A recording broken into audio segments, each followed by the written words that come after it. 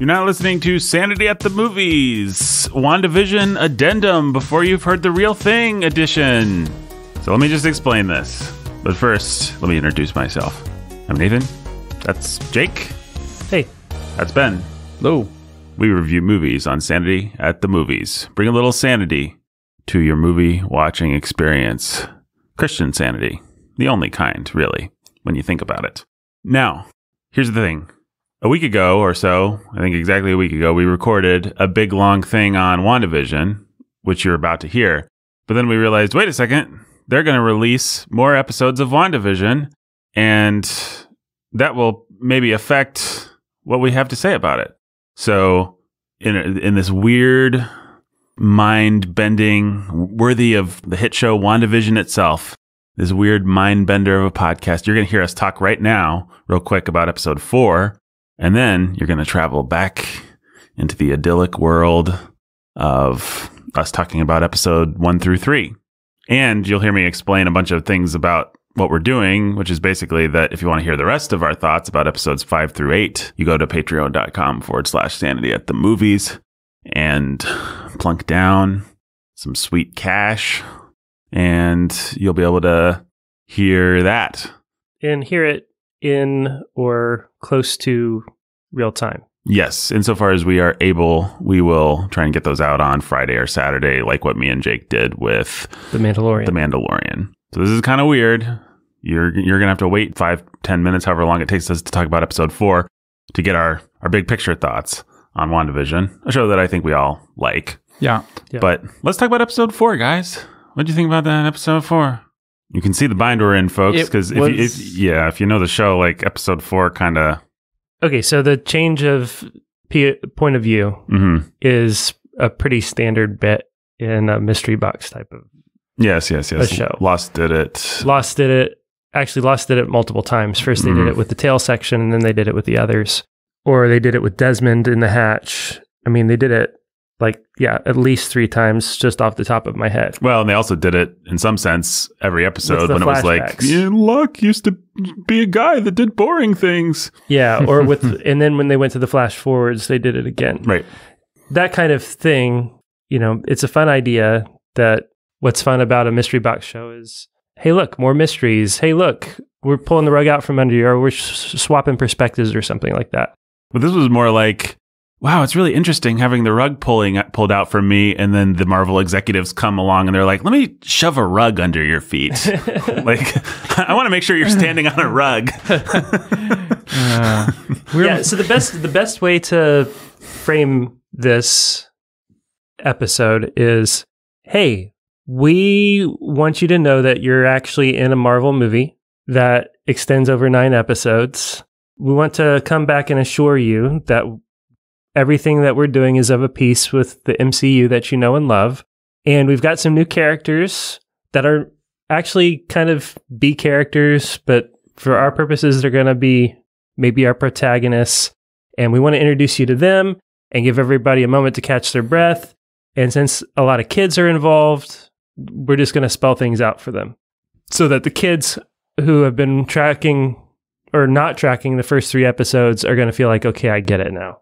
That that's the best spin that you could possibly put on it. I think that that's such a good spin that I can't really argue with that, except for to say that I hate it.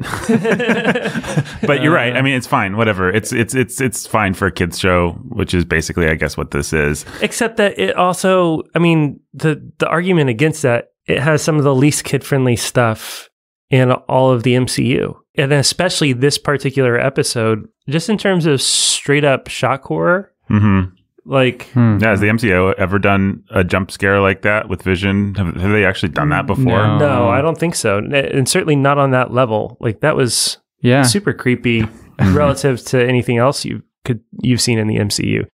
The way they played the blip for horror instead of you know Spider-Man played it for comedy, Right. hmm and they played it for sort of existential horror. I liked that a Uh, lot, no, I by the way. too. But I thought that was That's That was- it was really cool. That was great. really well Yeah. done. It was also horrifying Mhm. in its own way. But then coming back then with a horrifying vision zombie and all the implications of that. Like, does she actually have his corpse in there and she's trying to Frankenstein just it somehow? manipulating Yeah. his corpse. Like if that's what's happening, like So it's just like, yeah, it's just weird. Well, it almost Uh. felt when you put it that way, it feels even more cynical. They know that there's like these dumb kids watching that need it spelled out for them. Two plus two equals four. Two, yeah. But also, Jake, Nathan, Ben, we're going to give you two really cool things that Yeah. we're going to throw at you to make you be like, Okay. okay, that was at, on reflection, that was boring and stupid and a waste of time. But well, they gave you two cool things. Yeah, but and, and that's just like I almost reject that even more. Like if you just want to say we're we're going to do a kids show now, it's a kid. Sorry if we made you think this was going to be some David Lynchian like existential suburban nightmare. It's a kids show. You know, come on, it's Marvel. That's one thing, but to try and in any way split the difference. split the difference is Yeah. just kind of obnoxious. I- well, I felt like, well, what did I expect? Marvel's gonna marvel, you know. Yeah, Marvel- gonna marvel. Marvel's gonna marvel, and they're gonna give me like, hey, by the way, do you remember that we do this competent, bantery, really meat and potatoes storytelling thing where we tell you everything that's going on, hmm and we have like some kind half decent scripts, and there's a plot, and we just tell you what's going on. As- We we We're do that. We do that. We're, we're not afraid to exposit in case you forgot. Yeah. Right. It's like, oh yeah, that's that is what you do. Yeah. okay. With great characters like Agent Wu and Darth. Agent was fun. You know what? I, I will say I actually don't remember Agent Wu. Who, who what is he where from? was he from? I recognize him, Ant-Man and but the Wasp. oh Okay. no, And Yeah. I think he was also, I think I saw that he was also a character in Agents of S.H.I.E.L.D. or something like that. Okay. I And so I think he, I think he was like a side character in Agents of Shield that they pulled in. that they pulled in for Okay. fans into Ant Man and the Wasp, and then they liked how it worked in both places. It is playing with B characters, right? well, and so I- I think probably the I softball joke that. was probably a joke for Agents of Shield people. right. huh. Certainly, the card trick was a joke, uh, and I think that's an Ant Man and the Wasp joke. Yes, I rem- I have a very vague uh, Ant-Man and the Wasp like almost just doesn't exist. I remember a giant salt shaker. Uh, such a boring movie. It is so boring, but Well, it, it this is why Marvel actually needs to be TV because characters like Ant Man and the Wasp, even with Paul Rudd, they don't belong on the silver screen so much as on the. Paul Rudd got his start on the small screen in the Freaks and Geeks, if I'm not mistaken. And as far as I'm concerned, he could stay right there on the small screen. Uh, if you took some of the Ant Man and the Wasp stuff and ideas and conceits and did a show with it, it could be a fun little show. It could be in a a, way fun that it, it doesn't justify being some blockbuster event. Mhm. No, you'd have to have a really talented director to pull off a blockbuster event. And they had a really talented director who they disagreed with creatively because he wasn't going to do a typical Marvel movie. Who was that? I- that I- was Edgar Wright, the Shaun Oh, of the Dead director. Yeah. Who's a quirky British guy who likes So to he was play with genres. with the Ant Man franchise. With Yeah, no, Ant-Man, I with forgot Ant-Man. about that. He Yeah. would have been wonderful for Ant Man. Oh yeah, he would have been very clever and funny and weird, and it just would not have fit the typical Marvel formula. I mean, I I haven't read that much about the split, but it's easy to imagine. I uh, sort of just maybe uncharitably, I assume everything that's kind of funny about the first Ant Man, like when they're, they're having the epic battle and then it's get on, suddenly on a Thomas the Tank and you realize You're right, it's just this right, dorky right. thing. That feels very Edgar Wright, kind of that's hot like fuzz, right, Shaun of yeah. the Dead style. Yeah. His his wry sort of British sense of humor. Yeah, Although I really hated Edgar Wright's And last the most movie. that you're going to be able so. to get creatively in Marvel, you're going to have to play it like James Gunn or Taika Waititi. So you're going to have to commit to split the difference. Yeah, what I like about be able to be an auteur, you know, really do your own thing. You're going to be able to color a little bit outside of the lines that they set for you, that's right. not too far. I think both of those guys are talented at figuring out how to exactly to split the difference. I mean, Gunn does it just by bringing his own sensibility to the perfunctory violence, which, like it or lump it, we we don't have to litigate that today. But he's a Hmm. very talented guy and a sicko. That's I guess the Yeah, that's, that's that's my that's my the he judgment of my litigation on that guy. Yeah, he is. And then uh, Watiti, what TD or however you say his name. He, he knows how to be irreverent enough that they're not going to cancel his. They're not going to remove him. Well, he feels more like a true split the difference. Like, okay, here's your standard 15 minutes of action. We're going to make sure we get that in, you know, Uh-huh. get it, get a few minutes of Thor jumping around and Hulk and stuff every, every reel. But in between that, as, as long as we deliver that, and then in between it, we can kind of just do what we want. And what we want is to just be completely goofy and irreverent. And that's pretty fun. yeah. You know, the interesting thing about Thor Ragnarok, this is completely off the beaten track. That movie to me captures an 80s vibe so much better than so many things. You like Wonder Woman 1984 or Stranger Things. Yeah. Like that movie actually just with the VHS inspired credits and the synth score and just the way A little that bit of glam makeup for Jeff Goldblum. Oh and- yeah. well, and for what's her face, Cate Blanchett, it, it, it's not trying to recreate an '80s movie. It just feels like it has the sensibilities of of an '80s movie. It's kind of corny and But also in the 20 teens. yeah, but also in the 20 teens. Yeah, that's part of what's so f- so fun about that movie. it's a good movie. I should see it again someday. It took me a second viewing to appreciate it. Yeah, I, we came out of I- that together. I and remember. loved it and you hated it. Uh, I was indifferent. I think. Were you? Yeah, you were actually at that viewing. I was like, ah, write a script for once, fellas, and Jake was like, yay, fun, and you were like, That was like the most fun Marvel movie ever. I was that was like- awesome. I was like, it was kind of fun. You're like, Marvel should have standards that are higher than good for a Marvel movie. It's like, but it was great for a Marvel movie, and we like Marvel movies. What's wrong? Okay. I don't get it. All right. Well, speaking of that, Marvel TV shows should have standards that are better than great for a Marvel TV uh, show. Oh, I, I really did. I want to not just be an old man on a porch ranting against a cloud that's going by. You should put your cane down then mm, first. Yeah. I, I'm just going to put my cane. You know what? For a Marvel TV show, whatever, I'm sure kids appreciate having everything spelled out. But if I am allowed to approach this just from a subjective, personal, this is how I felt about it perspective, I really didn't like this first up. I found this actually, I, what I was going to say originally is I am a, I've always been an apologist of that one girl, Darcy, I think is that the character's name or the Yeah. actress's name? The character is Darcy. The actress is Kat Kat Dennings or whatever. Den- Dennings. Mm, Dennings, yeah. I, I, I thought she was funny. I actually secret have a soft spot in my heart for Thor: The Dark World, which is this really stupid, boring I movie. like but Thor: The Dark Yeah, it's kind of fun, right? It's a it's a fun movie. It tries to do a bunch of the silly stuff and actually kind of succeeds. yeah, it plays it with a much straighter face than Ragnarok, but right, right. But it's the the only one. That first Thor movie is kind of a bummer. That's real boring. But um, or I thought so. People seem to like that one Hmm. I better like than I it did. okay, but I like Thor: Dark World better. It was more fun. Yeah, it had more stuff. You got to see Loki really go for it, Hey, and the well, the, first- actor. the fir- yeah. That's that's Tom Hiddleston's best Marvel movie. I think is Dark World. yeah, he does. It's, it's some, too he bad. does, he does some awesome true. stuff in there. yeah. the I mean, the first one they were still trying to crack the code for other characters, and they brought Branagh in, and he does give a a nice little sacrificial heroic arc hmm that Yeah, if you're willing to go there and just shut your brain off, it's okay. Yeah, my problem was my my brain was on, and I was just like, Branagh, like let's just let Branagh be more Branagh. Like, Yeah. you, you know, Branagh can be so much Branagh, Branagh, Brannery, Branor. That's, that's the thing with all these Disney properties, though. Like you know, you bring Guy Ritchie in for Aladdin, and then tell him he can't be Guy Ritchie. What the heck? Well, that's why you do have to give some props to somebody like James Gunn, who's either just good in a pitch meeting, or I don't know what his secret is, yeah. but he's figured out how to bring some real James Gunn. I mean, I almost wish it wasn't James Gunn because he is so twisted that it's like let's let's actually curb this guy. But Yeah. you do have to appreciate a real visionary. that's weird. Yeah, you do wonder how he did that.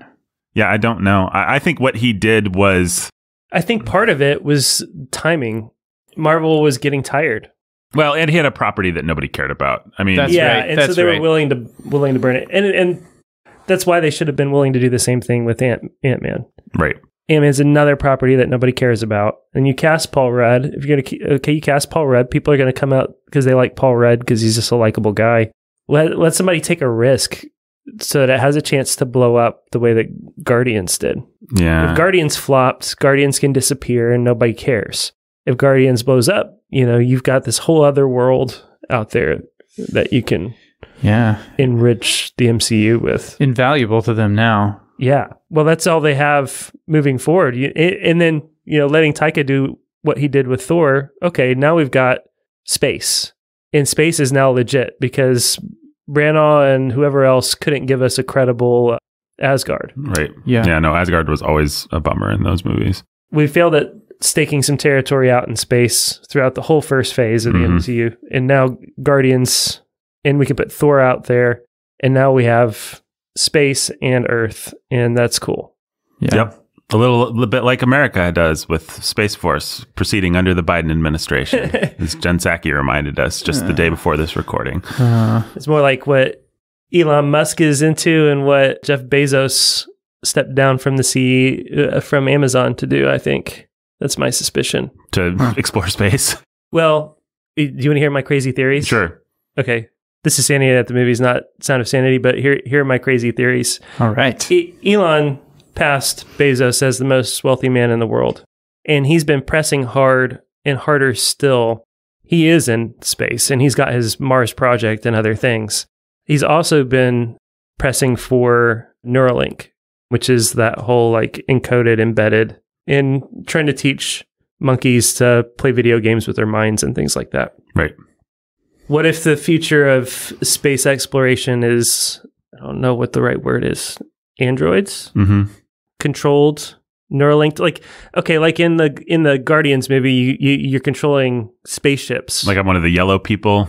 yeah like the yellow Mhm. people you're controlling Mhm. spaceships with their they're sitting in there in there and they're playing an arcade game So I'm on Earth, but I can feel and see and everything that my automated monkey in space is Exactly. feeling and seeing. something Uh-huh. like that so that's minimal risk I don't know I think that may be part of Elon's but I think that the reason Bezos stepped down as CEO of Amazon yesterday is because he needs to get back on top he is going to redirect all of his time and energy to to space The tie would be all right. So here's uh, you made random observations on our movie podcast, so I'll just keep going, Jake. One tie would be I listened to Scott Adams uh, last week, and he was talking about how Elon Musk and others of his ilk are super geniuses, and they are devoting themselves to saving the world, and they're the only ones who can who can save us from climate change. Whatever you think about that, that's what that's what Scott Adams says, and you know through going to space and through whatever. And Elon Musk has this idea that he's responsible for taking our species to the next level, whatever that is. And so he's going to evolve us or push us forward. yeah, Right. yeah, and so and so these this really does tie to the Marvel movies, which is about these gods basically Mhm. who save Right. us, and that's what these guys think they are. Elon Musk, Jeff Bezos, maybe I don't know. Scott Adams thinks that's what they are. It's practically worshipful the way he talks of them. I guess that's what we want as fallen men is uh, these guys to be our gods. Yeah, well, Tony Stark. I mean, Tony Stark was unapologetically a great character because he was a, a flawed human being that could transcend his limitations Right. through technology. I mean, he was actually the most Yeah. godlike among all of us because Yeah. he That's just right. built it. When when he had a problem with his heart, it was just like, oh yeah, I could have solved that if I had just given myself to it. That's right. And now I have. Yeah. Yeah. Oh, I, get, I guess I need a master medicine now. Oh, I guess I need a master robotics. Oh, I guess I need a master time travel. Yeah. Well, and you know, mm. d- d- depending on what they want to do with paying RDJ's salary, it's quite possible that Tony Stark mastered living forever one way or Yeah. another. It's in some, his some AI conscious. to, or his uh, his consciousness to. I mean, you already have an uploaded consciousness in the MCU that's already happened. right. Uh, the Nazi guy. The, the- yeah, so the Nazi guy did it. If the Nazi guy can do it with some tapes and old tech, oh, that guy. That's Yeah. right. if the Nazi guy can do it with some tapes and old tech, Surely Tony had something up his sleeve there's no question Tony could have done it if he wanted to. if he wanted to. Yeah. I think whether he wanted to is really just depends on. How well the next phase of the MCU goes and how much, how many truckloads of cash are willing to back up to. Well, I was. Jr.'s door, right? I, I'm sure with Luke Skywalker appearing on Mandalorian, we've all had to think, what's the biggest flex? And I think most people have, la- you know, for Man- for WandaVision or one of these shows to do. I think most of us have landed on Patrick Stewart or Ian Or Ian McKellen, and that's a big yeah. flex and a much cheaper flex than Then Robert Downey Robert Jr. Downey Jr. Yeah. But it is interesting to speculate on what's what's the biggest flex they could possibly do in one of these shows. Maybe Chris Evans. I know there's been talk about them trying to get Evans back. Yeah. Um, and it feels like if Evans was going to come back, he'd probably be quite happy to get you know twenty million dollars to do a cameo in a TV show as opposed to Right. having to come do another movie that he Yeah. Kind of Loki just doesn't like doing. Chris Evans should just play the villain in Knives Out sequels. They should just he should, he should- Keep coming he should just keep coming back as this such perfect Petulant brat. as a petulant brat. Yeah, Well, Chris Evans and Rian Johnson can go make movies together for the rest of time, for all I care. And there'll be two people I don't like making movies that I probably do. Maybe Rian Johnson could make a Captain America movie. I bet Chris Evans would come back for that. I bet he would. To talk about a deconstruction of Captain America. Uh, oh man, that guy. Um, suck all the life out of your soul in Yeah. one viewing. Well, guys, we have to get to the other part of this podcast where we travel back in Oh. time and hear our thoughts. So maybe we should wrap this up. Uh, my thoughts on the fourth episode were that I get why they did it. I found it very demoralizing. I'm I'm I'm sure they'll probably bounce back from it just fine in the rest of the episodes. Yeah, I mean, I think that episode is probably why it's nine instead of eight. Yeah, well, and if they wrote a great eight se- eight episode arc, and then some slimy executive said you have to put in the lame episode where you explain everything. People are dumb and they're not going to get it, and we got to keep the kids. Yeah, so the fat sheep will understand what's going on, even even though even though everything that this episode told us, we already could We kind already of knew, we already knew basically. basically. Eh, well, the the only other thing that creatively might have made this feel justified is if they had an eight episode arc, they had it all out, and then they realized we had this fun idea or idea we thought was fun of using these B characters that we n- we never established because we were stuck in TV world. hmm And so when it came down to the final episode or the final two or three episode arc, You're suddenly supposed to care about we're Monica suddenly Rambeau. supposed to care or- about Monica Rambeau and Jimmy Woo and Darcy. Mhm. Mm-hmm. And the only one of those that people might on the whole recognize recognizes Darcy. So we've got to do something to establish these characters. And like, okay, it feels lame, but we got to stick something in there early enough to establish them so that the payoffs work and the and the plot works and people aren't just stuck on Wanda's the villain, but also the only likable character here. Right. Well, it's too bad. I mean, I wish they could have just saved some things. Like, I don't need to know who the beekeeper is this earlier. You know, it's just, it's more yeah, fun. Yeah, that was too bad. They, they really just took away from the whole Twin Peaks kind of feeling of the first three episodes. And I thought that was sad. But maybe they'll get some of it back. But no matter what kind of creepy things we see in the next ones, it's going to be like, well, I know that's just. But, and I already did know that, but it's nice not to have it colored into. Anyway, now let's travel back to a time when we were very enthusiastic about this show, which I think we still basically are, but we really liked those first three episodes a lot. So now, folks, I will take you to a magical period where I'm going to be explaining, I think, in great detail the conceit of us even watching WandaVision and how you can sign up for Patreon. And then we're going to be talking about those three episodes. So here we go. Back in time. Let's use the time stone. Bring. You're now listening to Sanity at the Movies, Marvelous Edition. We're talking WandaVision, everybody. Just this once. We're talking WandaVision on this side of patreon.com forward slash sanity at the movies. We'll be reviewing every episode of WandaVision there in great detail, as we like to do. But you'll have to go to the Patreon to get that. So starting right out of the gate, 2021, starting with a sales pitch. But yeah, go to patreon.com. In any case, though, we thought it would be fun to catch up on the show because I just moved to Evansville and we haven't had a chance to podcast together a lot. So we thought we'd review all three episodes here for you now as this episode of Sanity at the Movies. If you I feel like I should say though, if you go to that Patreon, sorry folks, I'm I'm laying a lot of pipe here at the top, but if you go to that Patreon, you also get all of our Clone Wars reviews.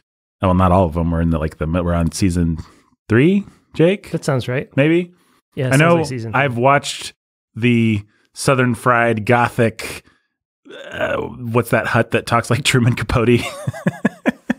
I've watched that one. Ziro? Ziro the Hutt. Yeah, I've watched that arc, which is really weird. But we've I don't think we've actually gotten a chance to talk about it. So It ties into some stuff with Cad Bane yes, yes, yes, Cad Bane. So if people remember the and Quinlan Vos, who gets referenced in the prequel trilogies.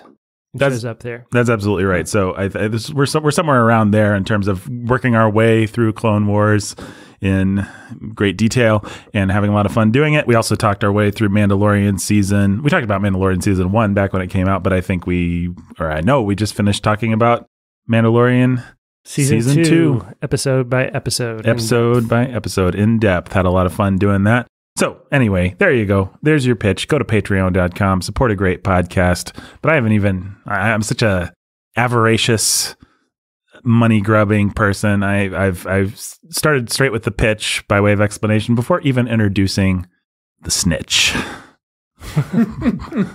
Ben Sulzer, why'd you rat us out? I thought you meant because I'm like really fast and you know like the snitch, and you have to try and catch up with me.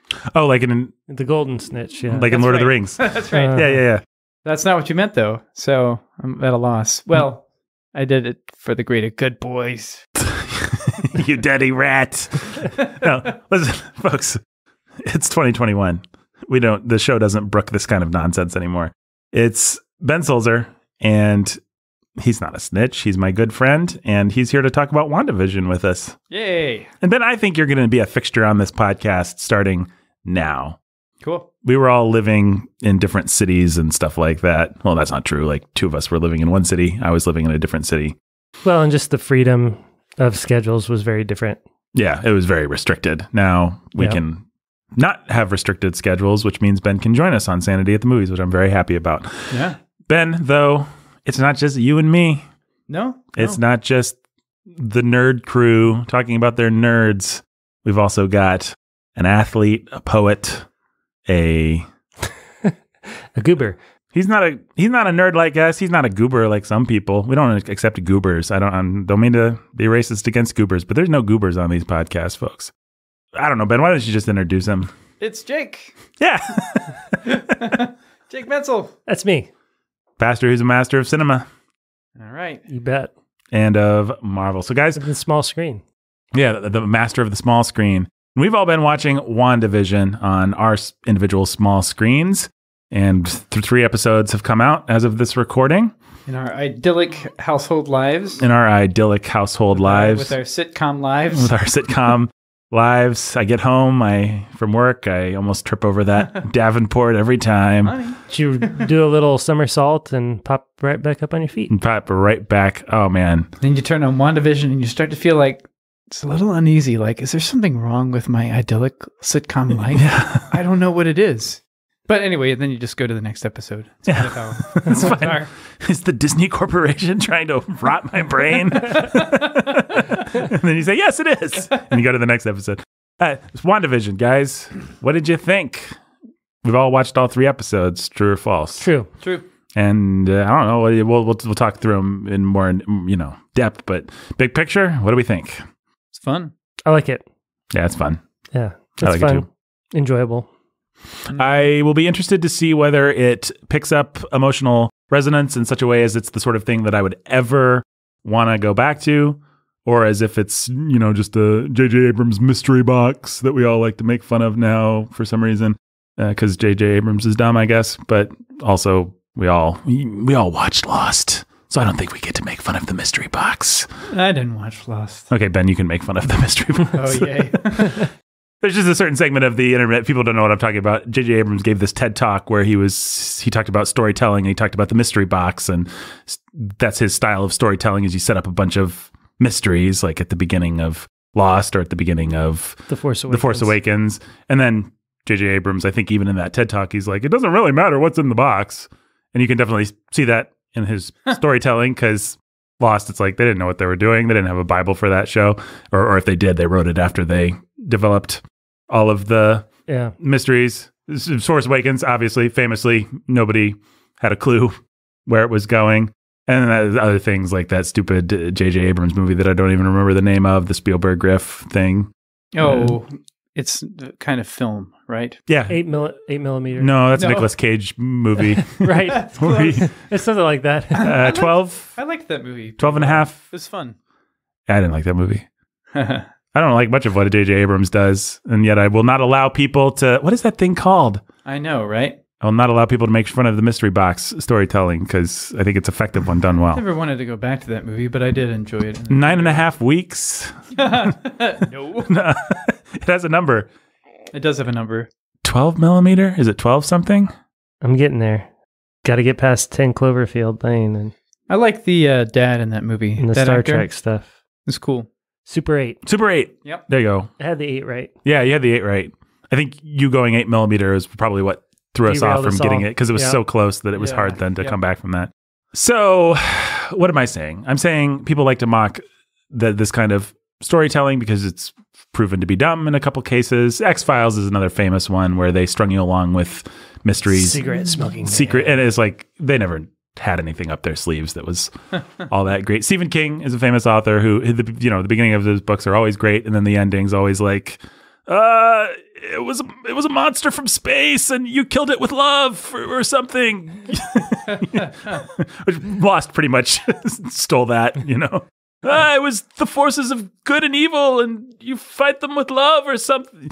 So anyway, We're all riffing on Bradbury. we're all we are. Yeah, I mean, honestly, what book that people haven't read and can't necessarily reference has had more cultural impact than something, Something wicked, Wicked. as this way comes? I mean, so many horror, supernatural, Stranger Things kinds of things. And it's because people like Stephen King followed that formula, and then everybody ripped off. Stephen King. But the uh, Madeleine L'Engle tried it. yeah, yeah, yeah. The the uh, the Rosetta Stone though is uh, And succeeded. yes, it's, no, no, Ben. No, no, she tried. She could not love the brain, but she could love Charles Wallace.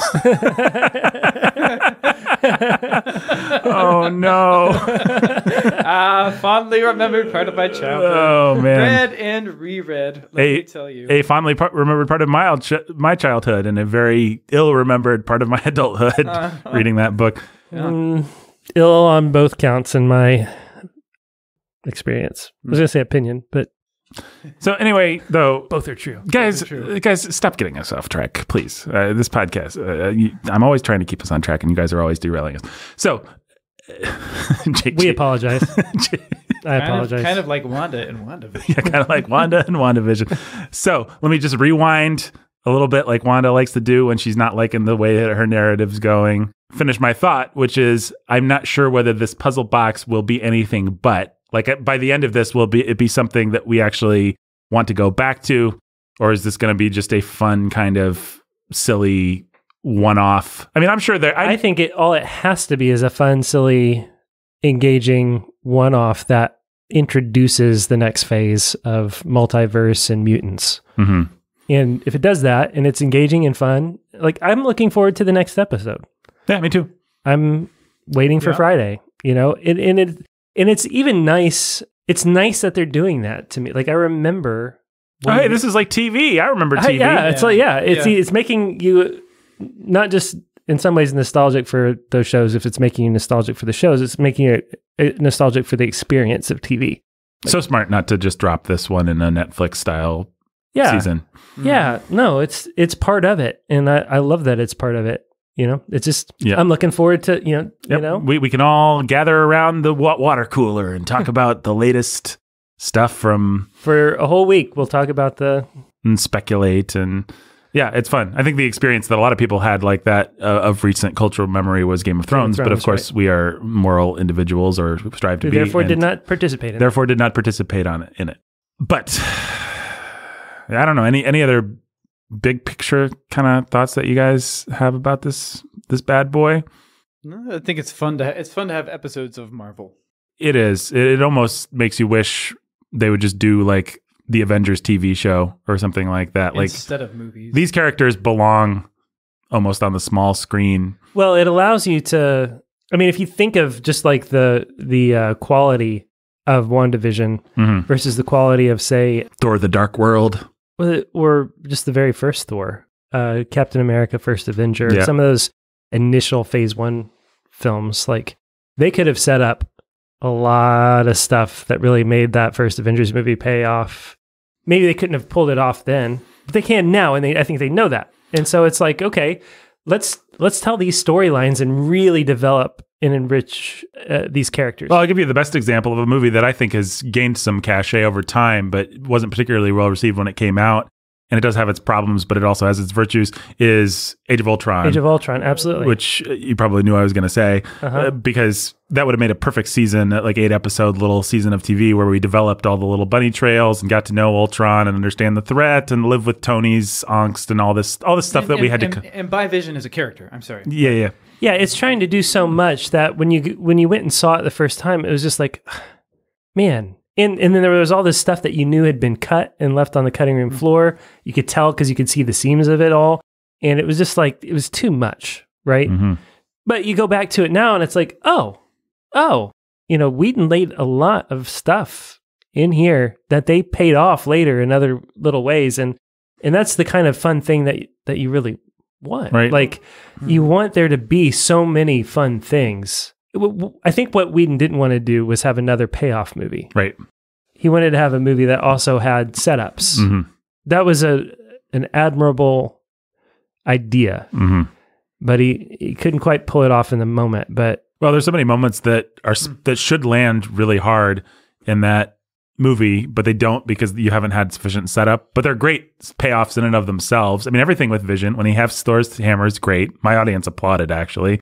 Vision's, you know, the final little moment with Ultron. Well, I was born yesterday. I mean, that's a great moment, but you haven't spent Yes. enough time with Vision and with Ultron for it to really connect it, the it- way it's supposed to I mean, it plays better watching it now because you actually have spent time with Vision and you know these characters and you like Elizabeth Olsen a little bit and it does play better if you're thinking of Vision as an evolved Jarvis who you've lived with throughout the Iron Man movies. right. Yeah. And that, I certainly think that's how Whedon hoped it would hit. Best way to interpret that in the moment was uh, you can just think of this as Jarvis. Like we've been playing with Jarvis. Jarvis was there at the beginning. Jarvis has been there throughout the MCU. Jarvis was established as a threat to Vision early in this, or as a threat to Ultron early in this. Mhm. Was Jarvis killed? But he wasn't, and he's been protecting us all. And now he's embodied, sort Which of. I think works- Not really Jarvis. It does work like I think this is like no skin off anybody's back. You have seven kids, which means you've watched these movies a lot more That's or just had them on in the That's right, background. yeah. and, and so you're like, "Oh, it's Jarvis. I've lived with this guy, this Jarvis." I think for me Jarvis is like, "Oh yeah, I forgot. Paul Bettany was in these things. Like he's the one doing that voice. That was always kind of neat." He, Yeah. He was good at it. Yeah, he was good at it. And it was Yeah. funny that the guy from Beautiful Mind and a bunch of stuff like that was doing this little thing. So it didn't really land. I, I can imagine like when our patrons, little, another little plug here, folks, when you finally get us to what is it, like a thousand dollars a month or something, or seven fifty, whatever it is, and we go through the Marvel movies, I think all that stuff will play better with the context and with just noticing things that you know you're supposed to, like Jarvis. But Well, yeah, I mean, those movies always suffered from they just wanted to be fun Mhm. and they didn't care about their details or consistency, but then they wanted to like pay off so that they're communicating don't don't bother with the, these details here. Don't bother with these details here.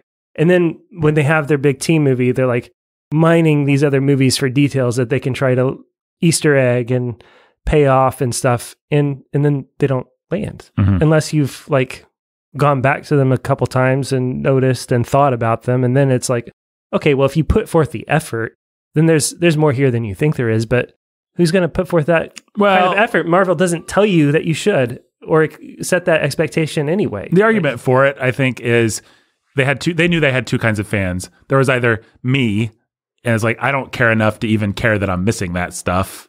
That's probably something I should understand. I should probably remember about these stones, but also like I'm having fun. I'm enjoying the quips. I'm enjoying like I, I care about them as movies and about as as as kind of pop culture artifacts. But I just really am not that interested in the the minutia of the world. hmm And then there's the people that really care. really care and they're really into it and you can trust them to have picked up on 50 things that the filmmakers didn't even intend because they've read the things and they've yeah.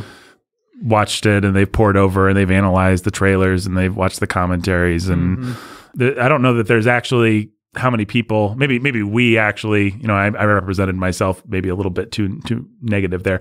Maybe we are actually the weird middle ground people that they could reach by being like hey guys you should probably pay attention to this but not so much this but how many of those people actually exist who aren't doing podcasts or or just invested with it. Like I didn't care about Marvel. I didn't care about Marvel movies. I didn't watch any of the Phase One movies until Avengers came out, and then Avengers was big enough that I think I saw Avengers or and went back or something like that. Mhm.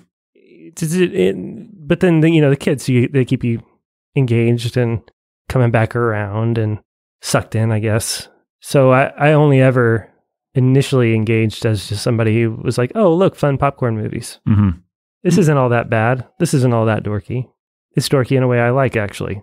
Yeah, well, there's so few movies that everybody can enjoy and kind of, you know, lowest common denominator. We can all kind of get behind this. So I think if I had a family, I would have probably watched these movies a thousand times just because Pretty they, easy to they got a little something for everybody. And, Yeah. you know, It's like Pixar for 12 year olds. Yeah, exactly. I guess my only other kind of big thought about this is the pop culture pastiches that they're doing are the best I've ever seen. You all, we've seen this kind of thing. You know, this is not new territory. Let's make fun of the the cultural artifact that is the sitcom. Let's dwell. Like, isn't it weird that people laugh? You know, the laugh track. This isn't the first people to interrogate that text, but That 70s show. yeah, that 70s show. E- exactly. I think this is far and away the best recreation. The lighting, the sets, the it really laugh feels, tracks. Yeah, everything feels. I mean, and and that's the fun thing about it. They don't have to go back and try to recreate. Like you know, Stranger Things is going to try to recreate the feel of something Mhm. Spielberg and John Carpenter and whatever else. Like this is just going to be like, all right, we're now in the fifties. What's the quintessential Dick Van Dyke I Love Lucy vibe Right. that we need to? We're just going to do that once. But like I I watch those things. I mean, I you know, I am like the resident person of the three of us who has watched and absorbed the most Dick Van Dyke show and thought the most about what the Dick Van Joke Dyke show is why is doing and why it's doing it and wh- which cameras it's using. And it's like whenever I watch one of these kinds of things, it's like they don't, they're- you know, like Stranger Things. It doesn't look like it was shot in the '80s. It looks like it was shot in 2015 or whenever it was shot on digital cameras with Yeah. new lighting, and they're trying to make it look like it was in the '80s. Uh, I watched that movie, the David, fin- the new Fincher movie, which I liked a lot, called Mank, which is a Citizen Kane. It's set in that era. It's about the making of Citizen Kane, and they do it intentionally in the style of Kane, and it's really cool the way that they evoke that. The way you know the sound starts out real grandiose, and then as the credits plays, it gets tinnier and tinnier and thinner and thinner until they've actually replicated old studio, crappy studio sound. They do things like that that are hmm. cool, but at the same time, again, it's like I can tell this was shot on a digital camera. It's just it's too clean. It's too this. It's too that. Yeah. Fine. They're doing what they set out to do. You know, I don't think they're actually trying to make me think I'm watching Citizen Kane. They're trying, you know, they're being successful. But the one thing that they're not doing is actually just putting me back there. Yeah. And and this thing just does not miss a beat in terms of actually Structurally, cameras, everything. Yeah, the lighting, the whatever treatments. I mean, I assume they shot this digitally, but whatever treatments they do, it's not overdone. They're not adding a bunch of grain and stuff to make it look. But but they're just really Yeah. somebody did their homework in terms of what those sitcoms feel like. Yeah, it's good. And then whenever you have the creepy moments, it breaks the flavor of uh, the, even the, like the shots. Oh, I love that moment. That was my favorite moment in all three. Probably when the boss starts choking, Yeah. and then Yep. suddenly we're out of sitcom, and we're just We're in something else. We've been on the back of Vision for the whole time because this, the cameras in our studio with our Mhm. studio audience can't see Vision's face. Like we can't break that that wall. Uh, But suddenly we break that, and the moments that they choose to break that are really smart. And the way that it develops. So the first show essentially is Dick Van Dyke. It's completely studio bound, and it's just you know it's it's shot on a stage, and they have multiple stages. And then we see them in kind of a bewitched kind of thing. In the second episode, suddenly they're outside and they're doing more things cinematically as they did as the sitcom developed. And then suddenly we're doing a mostly shot after the fact with a laugh track added, kind of Brady Bunch. Hmm and each one of they just nail how those shows worked. And it's pretty easy to glibly do a surface surface level interpretation of how those kinds of things work but to actually get into the guts of it and really just evoke it.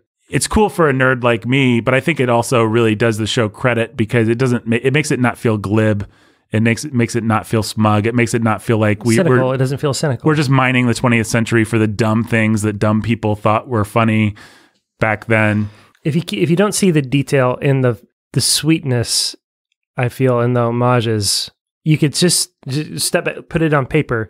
Hey, what's getting traction is in what's been getting traction over the last ten years are homages to genres and homages to decades.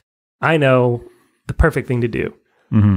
Let's let's nail them all right you know, instead of trying to capture the 80s, we're going to capture, we're going to cherry pick from the 50s, 60s, 70s, 80s, 90s, 10s, all the way up to present day. That looks like, you know, somebody in a room in a suit making a, a business decision. Mhm. Like, we can't lose here. If we're doing Dick Van Dyke, if we're doing Bewitched, if we're doing the Brady Bunch, if we're doing cherry picking from each decade, we've got so much nostalgia around us here hmm in each episode. We can't lose. We don't have to do anything else.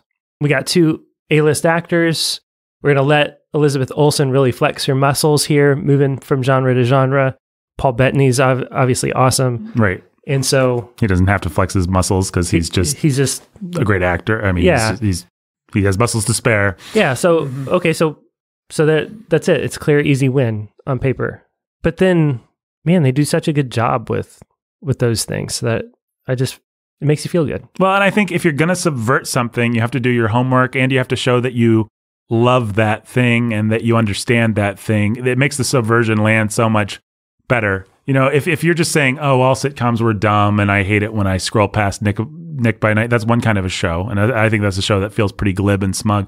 But if you say, I really love and I understand the mechanics of how that show, those shows work, how that comedy worked, how those actors acted, I, I've understood everything about it and I've re- lovingly replicated it. And then I'm going to ask, what was off about that? What was eerie about that? What was weird about that? What was false about that? That's just a much better way to go about Mm-hmm. doing that kind of thing.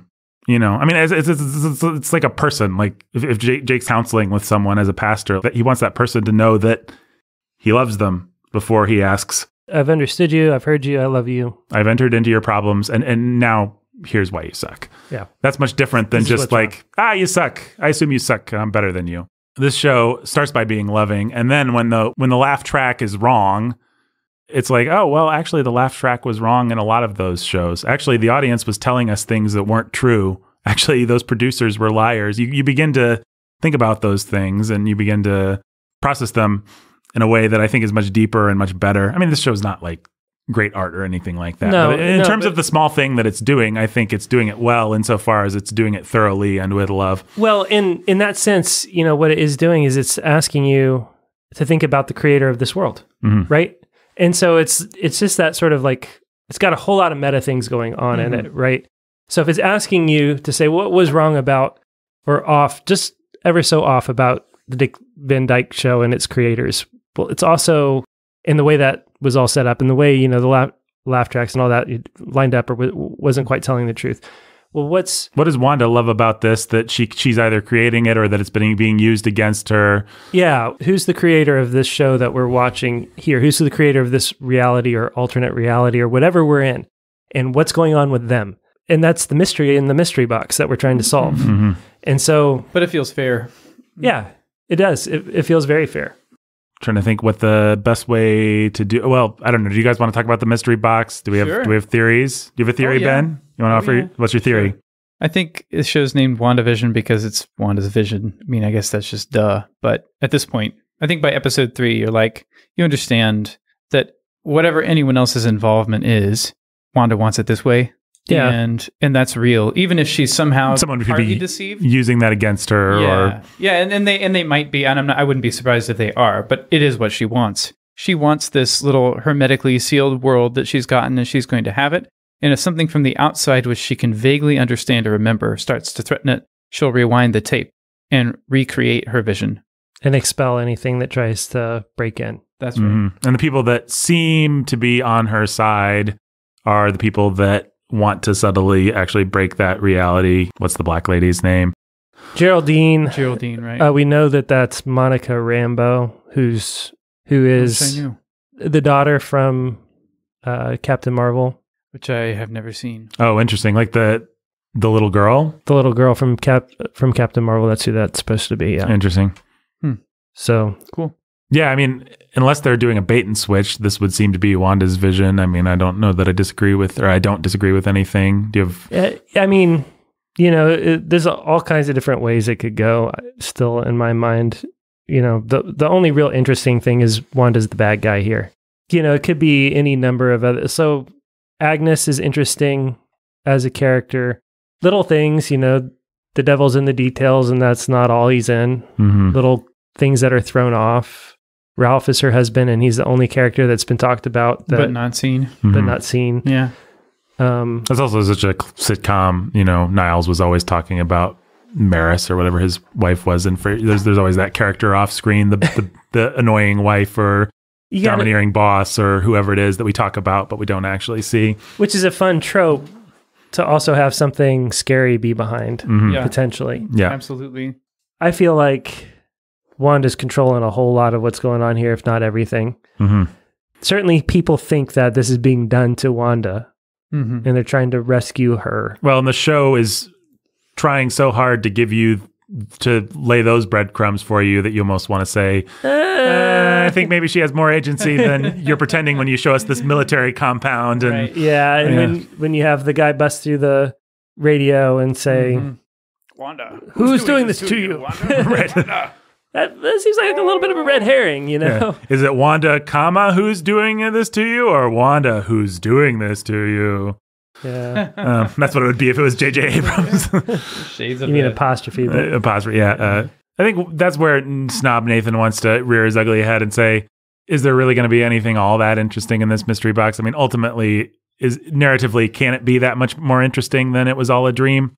Maybe agree to process her grief. I mean, sure, there's a bad guy, whatever, but ultimately, is there anywhere we can go with this besides just Well, I mean, so Scarlet Witch uh, has kind of weird, undefined powers, and Age of Ultron plays around with like, oh, she can mess with Tony Stark's thoughts and show him a vision, and then promptly forgets all about that thing that she can do in Mhm. people's minds for a number of movies, and she's just like telekinetic, right? Mhm.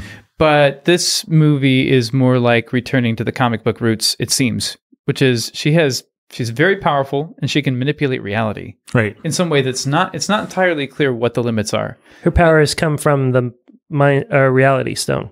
hmm Okay, yeah. Well, see, there's it's like in some comic book timelines she's a mutant. In some she was brought up to think she's a mutant and she's just a sorceress. And then we have her powers come from the reality stone. which is at least the accepted MCU canon. If Baron von Strucker was using Loki's scepter, Mhm. Loki's scepter had the powers of the Reality Stone, It's interesting that the And only that's reason why- that's canon is because they didn't have X Men, and now they do. and now they do. And now Yeah. it feels like maybe part of what we're actually doing is setting up a retcon. hmm Right. Her parents died, or did they? You know, I I saw somewhere that in at least one timeline or one comic book series, Magneto's her dad. Oh yeah. Yeah. Um, so right. you've got that sort of thing. Like maybe Strucker thought he, you know, all the other experiments on other children failed. hmm Uh-huh.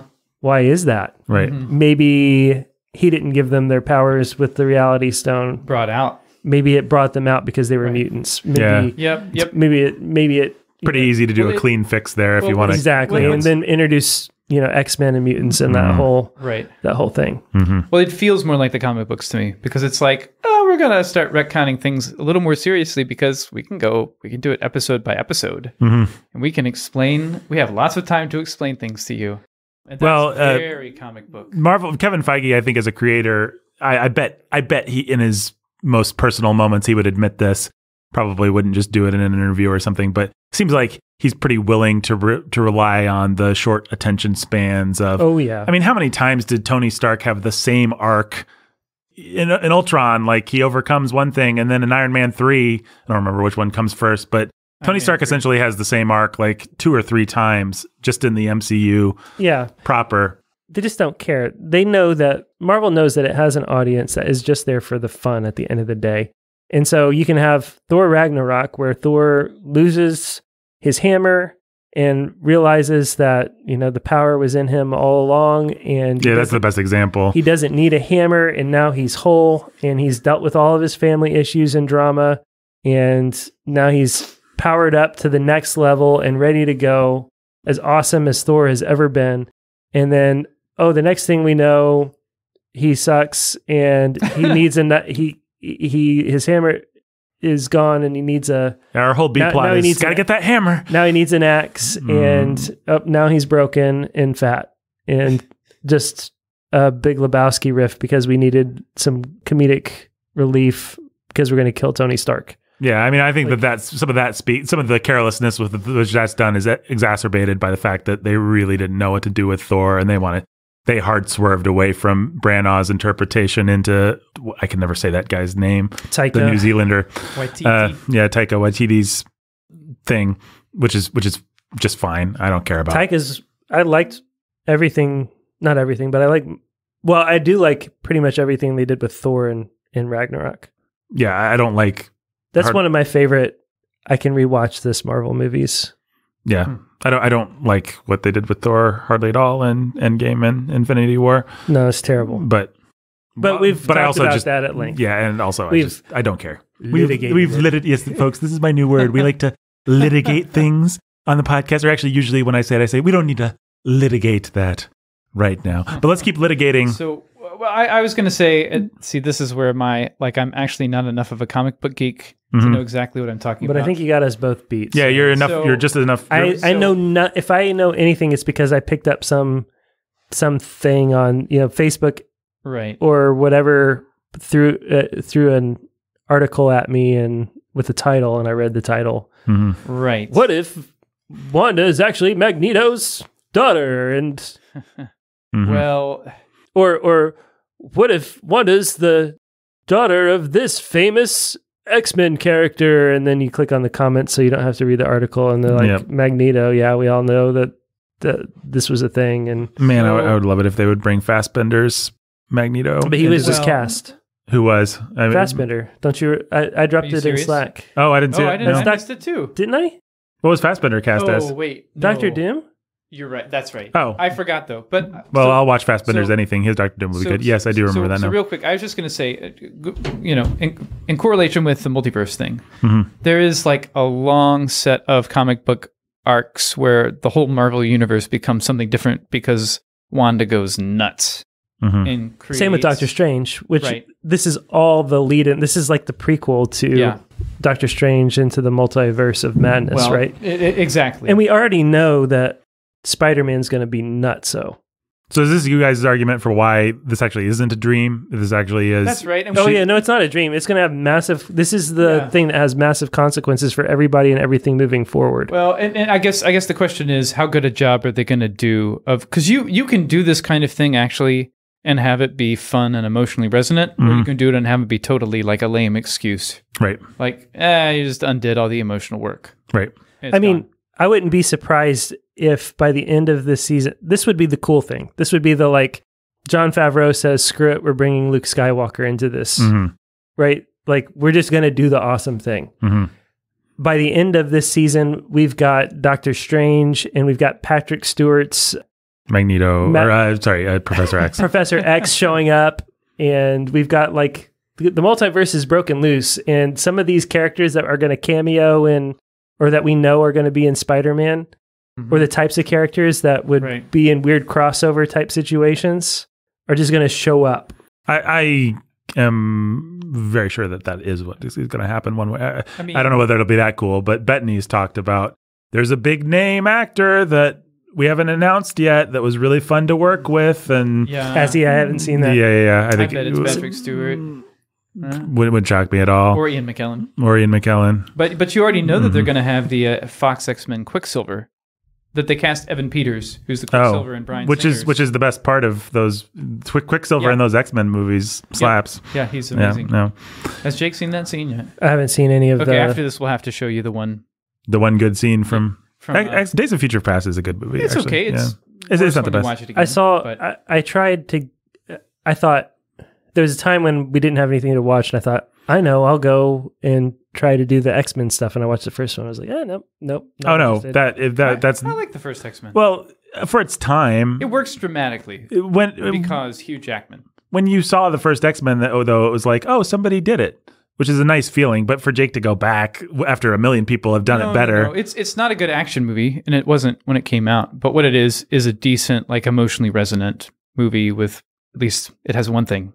Yeah, but I. eh. but I don't think that there's any reason that to be surprised that it wouldn't hit that hard for Jake No. watching it 20 years down the road. I did, yeah, I just didn't feel it. Was, it was sort of like uh, when I tried to watch Firefly. It was like, okay, I, I understand why people thought this was cool when it came out, but also I don't really need this, and so I'm not. Yeah, Firefly was a nice promise, but if you have the Mandalorian in your life, you can just watch the Mandalorian and you get all that. Yeah, Um, you, you want to throw some love at Firefly? I don't know. I don't care about Firefly. I don't care about anymore. I Firefly. just, back in the day, I did, and it did some fun character stuff. But I, I would, I do not want to see it ever again. Abrams and Whedon are both good at the same thing, which is getting together a really good cast, making sure that they have a really good chemistry, Mhm. and having them play off of each other nicely. And Firefly did that, just like Force Awakens did that, and it's really nice in both properties yeah. and goes a long way towards making them work. So, okay. Yeah, I don't know that I have any other big theories about where things are going. What else do you guys want to talk about with this stuff?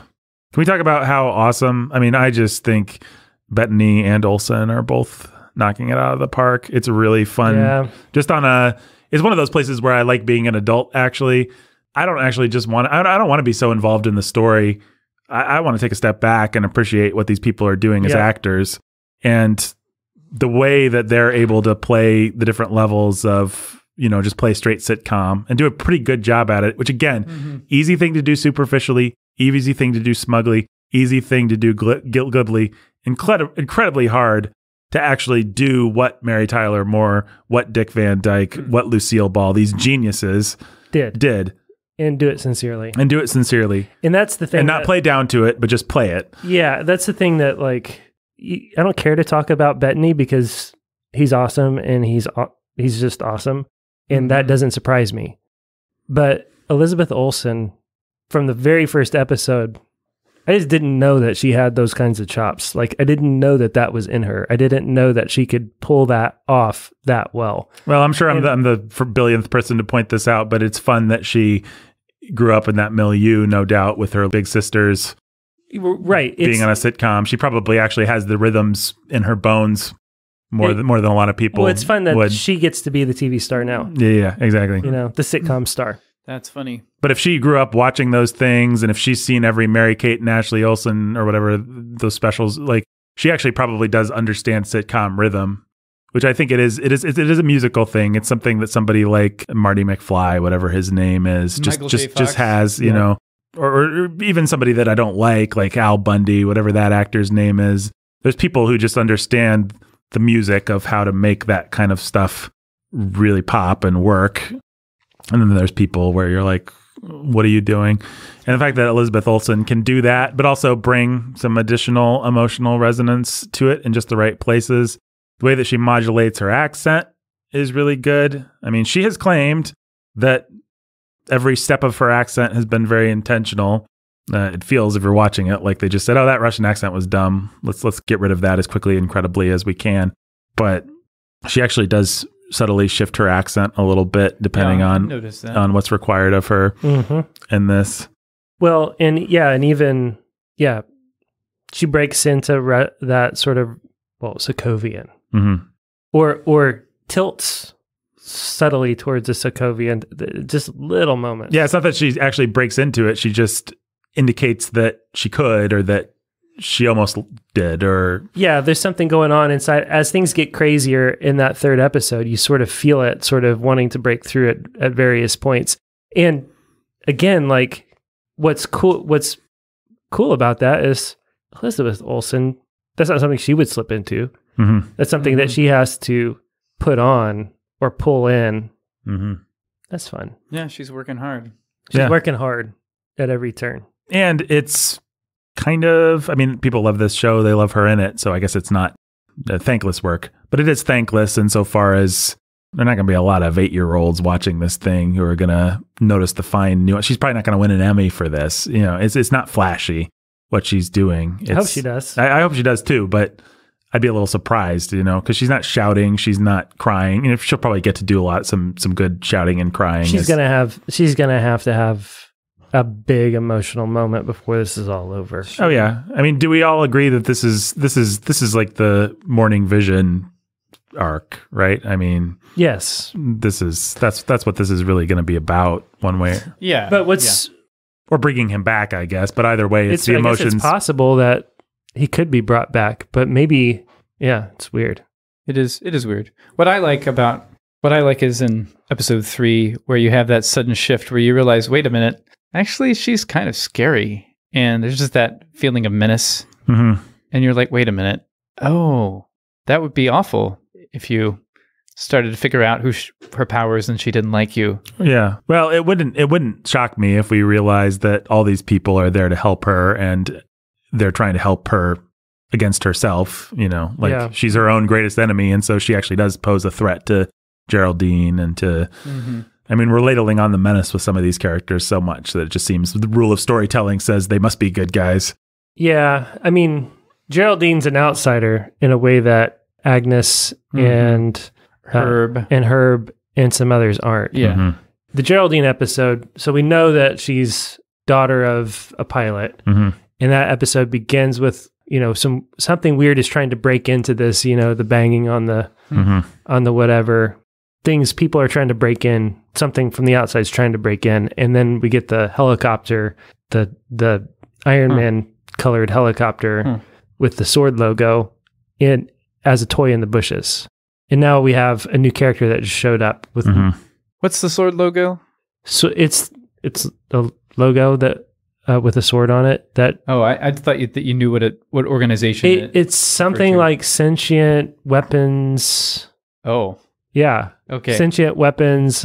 so that's from Captain Marvel, which I'm still right. No, haven't I think it's I think it's like the replacement for Shield.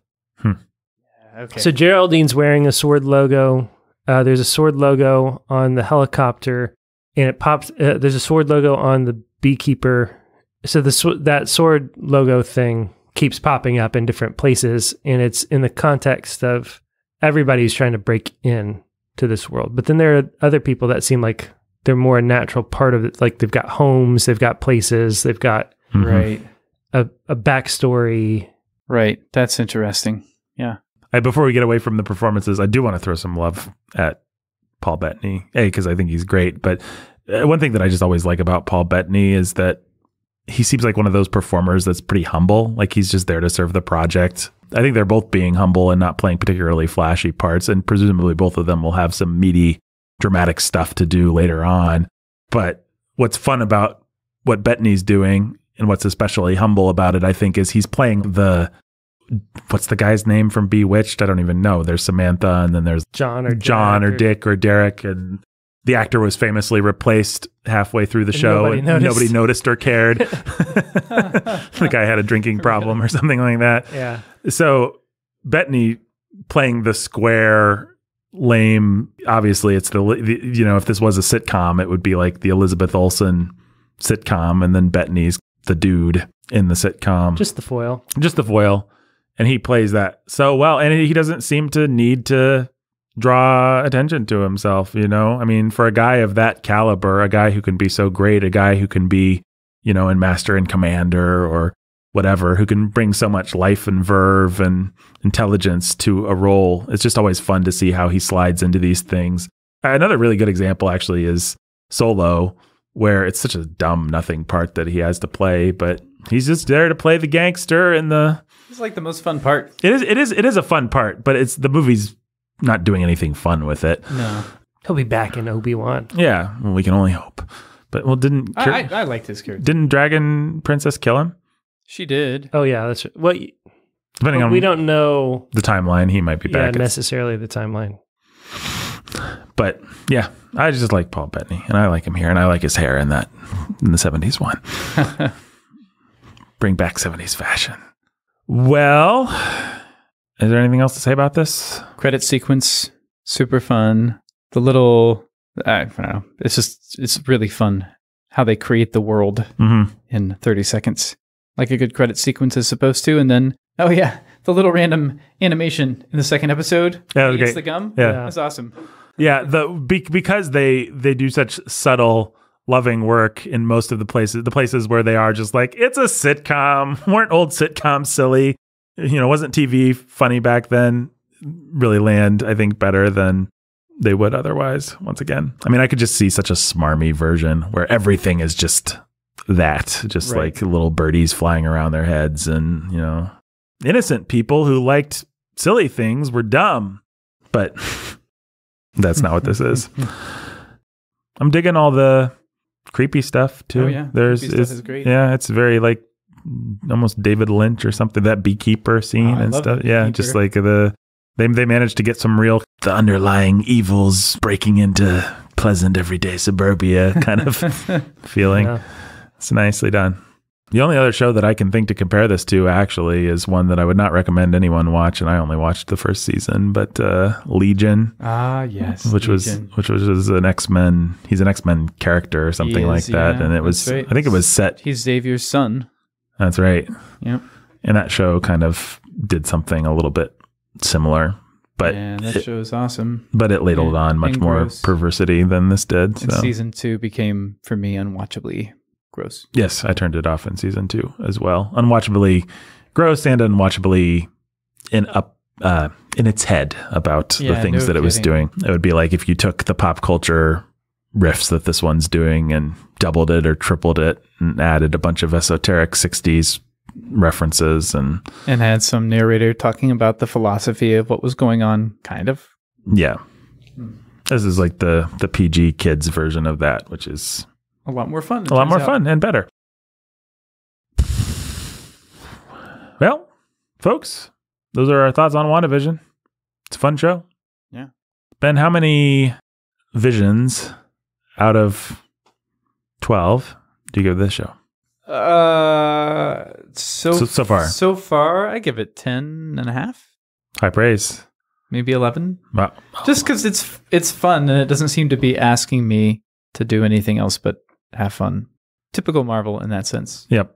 Well, and it is so nice that, and I, I'm not the first person to point this out, but that they didn't just give us, it's another villain and our superheroes need to fight him and stuff. Well, don't worry, you'll get that soon with that crummy looking Winter Soldier Falcon show. That doesn't look good, does it? No, it looks Mm-mm. terrible. I agree. It looks like garbage. Well, and and it's so smart to start with this because that stuff you do something like that out of the gate. It's like, well, that couldn't really compete with the million billion dollar movies that we're making. The problem with that show is it looks like that's what it wants to be, Mhm. like a miniature version of a million billion dollar movie. yeah, it looks like it's just failing to be that. Whereas Yeah. this show isn't even playing in the same ballpark, and presumably when they get to the big special effects stuff towards the end of this show, we'll have waited long enough and be hungry enough for it, and it'll tie in well enough that we just won't care That'd be nice. whether it's not quite as epic as you know the CGI budget of Endgame or something like that. Jake, how many Wandas out of twelve? Visions out of twelve? I was going to give it 10, but I feel like I have to come in higher than Ben, so I'm going to give it 11. Huh. Well, I feel like I have to come in lower. If we're, if we're all playing to type, then I'll give it nine. I'll give it nine. er, I'll give it ten. But I will say, depending on where it goes, it, we could be bumping down to oh yeah. seven or eight, Yeah. or or we could be going up to twelve if they stick the landing Yep. somehow. Yep. you You know. just don't know yet. if they really do something that's really cool and interesting and emotional, then this could be, you know, not just a fun show, but a great show. But we just don't know yet. I will. Okay, there, so here's one other thought that I just randomly thought of. I, I will. The one comment that I did text to Jake was, "This is such a loving, perfect pastiche. Why not write some jokes?" like the Dick Van Dyke Show actually did have legitimately good, well crafted jokes, and this show has some of them, but not as many as a real sitcom would That's a good point. of that.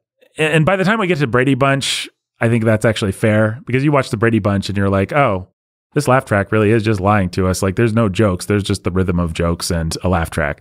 But something like the Dick Van, like the first episode is specifically, I think the writing should have probably been a little sharper than it was. Yeah, So- I, I think the second episode felt like it might have earned the most jokes or something. yeah. The second episode had the whole magician thing, Yeah. which felt so much like a Bewitched plot or uh, you know one of those. Mhm.